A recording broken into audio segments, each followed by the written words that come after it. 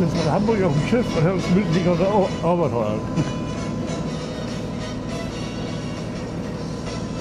Was denken Sie, wenn Sie sich da wiedersehen? Oh, tolle Zeit. Spaß gehabt hier. Das ist ja ein ziemlich legendäres Konzert hier, Royal Albert Hall 1978. Ja, ich glaube, da hat man in Deutschland das erste Mal gesehen, dass die Leute getanzt haben.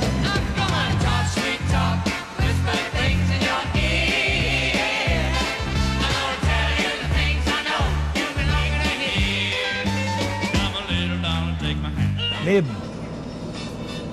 Wir sind alle geboren worden, um zu leben und nicht zu sitzen, sondern machen, was tun. Und das kann man da sehen.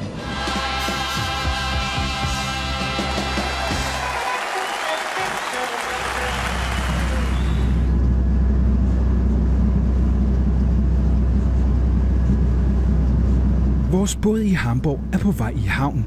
Det samme er James Last musikalske verdensomsejling. Men hvad sker der, når kaptajnen snart går fra bord?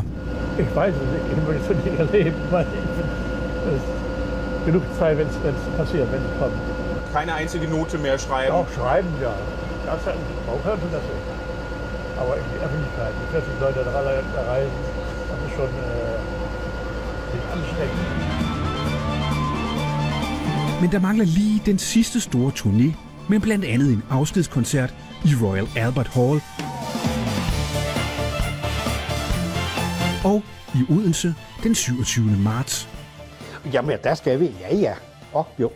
Og vi bestilte billet allerede i september sidste år. Så øh, jo.